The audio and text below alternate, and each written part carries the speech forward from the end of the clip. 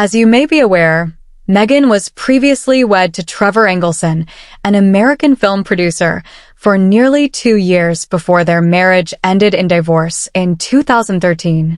Recently, it appears that Trevor still harbors unresolved feelings towards Meghan and has chosen to share his perspective with the public. In an unexpected radio interview this week, Trevor called in and unleashed a torrent of accusations against his former spouse. The radio host struggled to contain Trevor as he spent over an hour expressing his grievances about Meghan. He alleged that Meghan had been deceptive not only towards him for years, but also towards the royal family and the general public. Trevor claimed that from the early stages of their relationship, Meghan had aspirations far beyond being with a mere Hollywood producer, and that she utilized their connection to further her own ambitions. According to Trevor, Meghan would often express her desire to become a princess and reside in a palace. He recounted how she would bring him to auditions and networking events, attempting to leverage his industry connections to advance her budding acting career.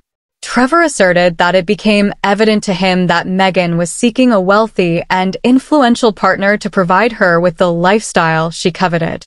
He felt that from the outset, he was merely a stepping stone for Meghan on her path to greater achievements.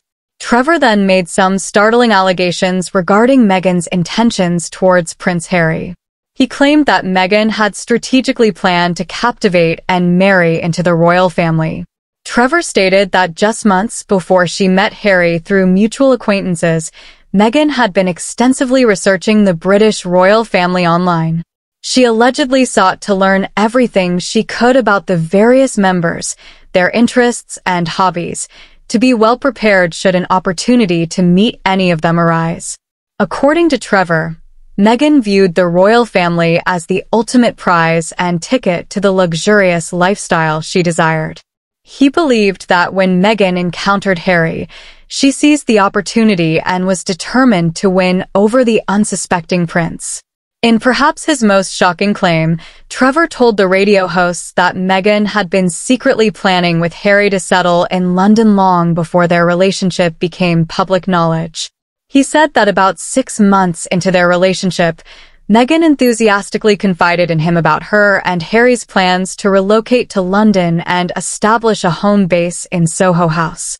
Trevor's revelations left the host stunned, as most people were under the impression that Meghan and Harry's whirlwind romance had taken everyone by surprise. However, according to Trevor, Meghan had been strategically planning this from the very beginning, manipulating Harry to believe her intentions were genuine when in reality, she was using him to achieve her ultimate goal of elevated social status and a luxurious life in London. Trevor expressed frustration that he seemed to be the only one who could see through Meghan's charming persona to recognize her as an ambitious social climber.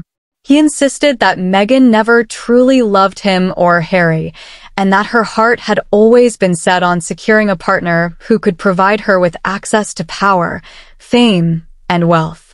The radio hosts were overwhelmed by Trevor's shocking testimony. While his claims certainly paint Meghan in an unfavorable light, many listeners were divided on whether to believe such sensational accusations without concrete evidence. Some speculated that Trevor might still harbor resentment from his bitter divorce and was exaggerating to tarnish his ex-wife's reputation. Others, however, felt that his insider perspective as her former husband of many years lent credibility to his version of events. Regardless of the veracity of Trevor's claims, he has undoubtedly stirred up controversy with his dramatic revelations. If even a fraction of what he alleges is true, it calls into question Meghan's motives from the very beginning of both her marriage to Trevor and her relationship with Prince Harry. It also suggests that she may have been deceiving the royal family all along about her intentions, claiming to marry for love when ambition was her true driving force.